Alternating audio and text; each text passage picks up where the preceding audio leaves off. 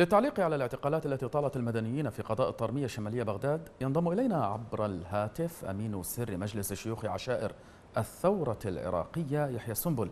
سيد يحيى بداية أهلا بك. لا تزال مناشدات أهل الطرمية للعالم لإنقاذهم تتواصل. بداية لو تنقل لنا صورة تفصيليا في الطرمية وماذا عن بلدة مكيشيفة شمال سامراء تفضل. وأحيي مشاهدي قناة الرافدين. أهلا بك.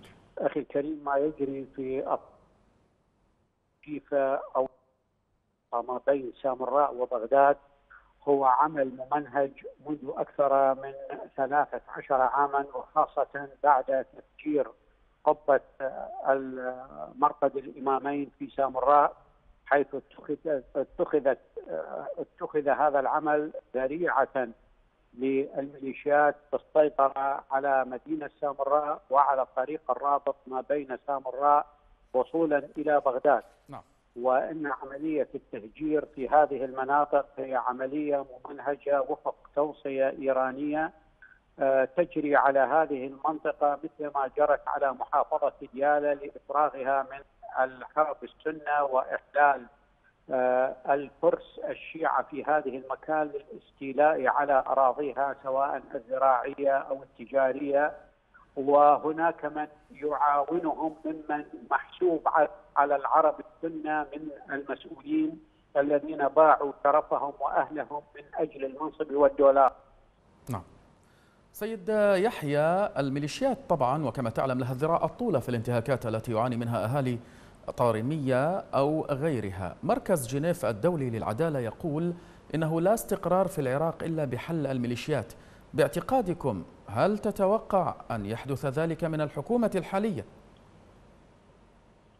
الحكومة الحالية تقدم تتقدم خطوة وتتراجع آه، عشرات الخطوات نعم. هذه الحكومة هي خارجة من رحم هؤلاء الفاسدين ولا يمكن أن تتقدم بأي خطوة بمثل هذه الخطوات بحل الميليشيات لأن من يريد أن يحل الميليشيات عليه اتخاذ قرارات جريئة بتقوية آه، القوى الأمنية أو العسكرية الأخرى لذلك آه، فلحد هذه الساعة لم يصدر أي قرار آه، بشأن هذه الأعمال أو نعم. التي يمكن أن تقوم بها الحكومة من أجل آه، تقوية الجيش أو ما يسمى الشرطة ولو أننا نسجل نقطة نعم. بأن هذا الجيش والشرطة قد تشكل أساسا من ميليشيات بدر وما يسمى جهش المهدي في وقتها. نعم، سيد يحيى وكما تعلم تتكرر بين الفترة والأخرى حملات الاعتقال بحق اهالي الطرميه ومدن وأقضية بعينها. ما تفسيركم لاستهداف هذه الأقضية والنواحي المستمر من قبل القوات الحكومية والميليشيات الموالية لها. أخي استهداف آه، هذه المناطق وهذه القرى كما أسلفت إنها آه، تقع ما بين سامراء وبغداد وهذا يراد منه السيطرة على هذه المنطقة بل وإحداث آه، تغيير ديموغرافي وهناك محاولة لجعلها أو لاقتطاعها من محافظة. صلاح الدين وجعلها محافظة مستقلة بحالها تخضع للإنشاد وللأجندة الإيرانية الواضحة بالسيطرة عليها.